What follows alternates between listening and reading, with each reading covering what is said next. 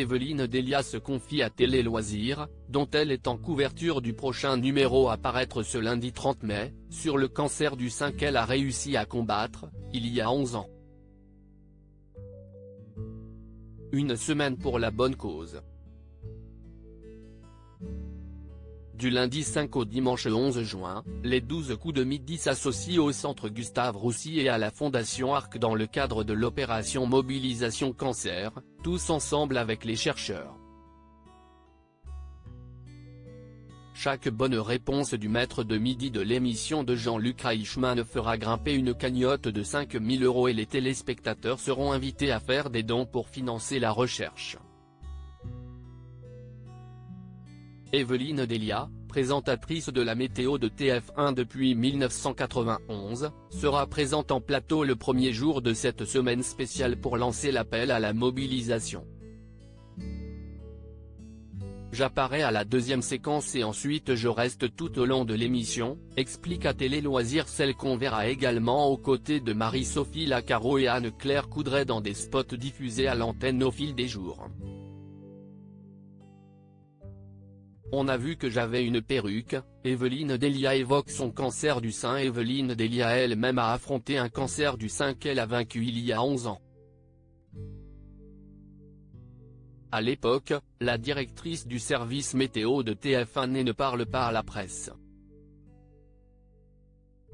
J'estimais que c'était quelque chose de très personnel et que je n'avais pas forcément à en parler ou qu'il n'y avait pas matière à s'apesantir sur mon sort.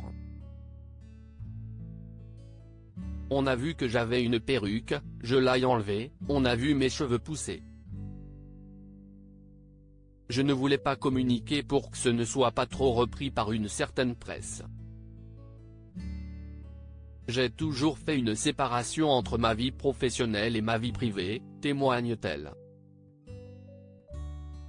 Les choses changent l'année dernière lorsque l'association Ruban Rose, dédiée à l'information sur le cancer du sein et le dépistage précoce, la contacte pour marrainer l'opération Octobre Rose. J'ai répondu favorablement car j'avais entendu des médecins dire qu'il était important que des personnes connues du public en parlent, notamment du dépistage.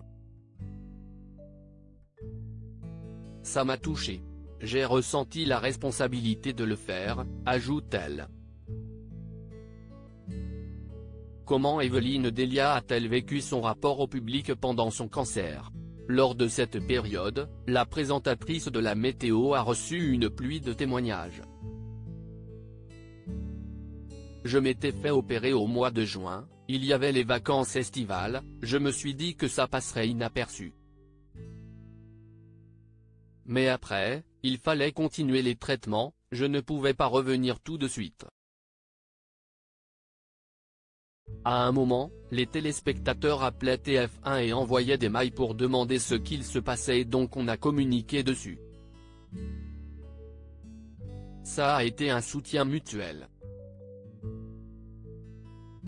J'ai eu énormément de retours de téléspectateurs chaleureux, me disant qu'il était avec moi, que ça allait bien se passer. Moi, en retour, j'ai sans doute donné du courage à des femmes en revenant travailler, sourit-elle. Son témoignage, précieux pour des femmes malades il y a 11 ans, le sera donc tout autant aujourd'hui lors de son passage dans les 12 coups de midi. L'intégralité de l'interview est à retrouver dans Télé Loisirs, numéro 1944, en kiosque ce mardi 30 mai 2023. Télé Loisirs, numéro 1944, en kiosque ce lundi 30 mai 2023 Télé Loisirs à lire aussi tournage, fond vert.